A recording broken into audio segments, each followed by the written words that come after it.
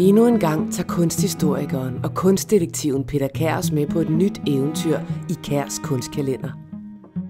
Han har fundet et maleri, der kan fortælle os om tiden, om kunstneren og om det helt særlige udtryk, som maleriet har. Og ikke mindst, hvad kan vi bruge det til her og nu? Velkommen til Kunstkalenderen. De fleste af os må jo nok på et eller andet tidspunkt erkende, at man kan drikke for meget kaffe. Erkende, at det er meget godt at, at have et øh, netværk, altså nogle gode venner, hvis man vil have noget til at blive til noget. Og i dag kigger vi på Appelgaard og hans netværk, hans rigtig gode venner. Hvilken betydning fik de for ham? Vi kigger på et lille udvalg af de væsentligste venner, som Appelgaard havde. Blandt andet var det Jens Juhl. Jens Juhl var jo selv maler og blev en af tidens allerdygtigste portrætmalere. Han går også på akademiet og bliver senere også professor på akademiet, som Appelgaard jo også var. Han kommer til Rom, Jens Jul, og sammen med Appelgaard besøger de Herculanum og Pompeji. Og det var relativt nyt, at man kunne besøge dem. Herculanum blev først begyndt udgravet i 1738 og Pompeji i 1748. Jens Juhl er også den, der laver nogle forrygende malerier af Appelgaard-familien. Her er det moren og Appelgaard selv. Da Appelgaard kommer til Rom, så er et omdrejningspunkt den her person, Serkel. Og Johan Tobias Serkel var billedhugger og en rigtig god ven. Har været meget livlig og humoristisk.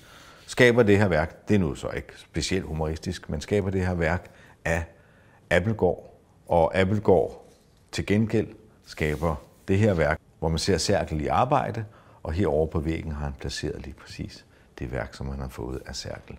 Serkel kommer også og besøger Appelgaard lang tid efter Romdagene i København. Og her ser vi de to spangulere rundt i København.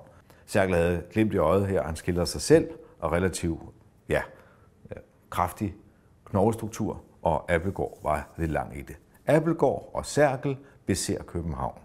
Appelgaard havde også en ven fra Rom, men det er jo nok mere sådan arbejdsmæssigt, nemlig den svejsiske engelske kunstner Fysli, som har været med til at inspirere ham til at arbejde med det her udtryk. Så får han en rigtig god ven i Clemens her. Clemens var også, som Appelgaard uddannet, erhvervsmaler, men bliver koverstikker og får en utrolig stor betydning for Appelgaard, fordi mange af de værker, som Appelgaard laver, stikker Clemens. Det betyder, at Appelgaard har lavet tegning af maleriet, og Clemens foretager den proces, der kan gøre, at værket kan mangfoldiggøres, enten i aviser eller i skillingstryk, som er meget populære. Blandt andet, og det kommer vi til at se senere, nogle af de her Københavns skillerier. Og Clemens er gift med Marie Jean Clemens, som også er en rigtig god ven af Nikolaj Appelgaard. Og det er faktisk hende, der har lavet de her. Hun var meget, meget dygtig, og hun skaber også på et tidspunkt den her tegning, hvor man tager fat i en del af tidens væsentlige personer. Og hernede i første række har vi Nikolaj Appelgaard ved siden af Jens Jul, ved siden af Clemens, og her til sidst skiller hun sig selv, Marie Jeanne Clemens.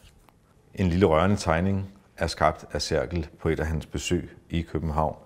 Her sidder han selv og tegner. Her er husholdersken, der passer en del af Appelgaards dyr, og han varmer tæerne her.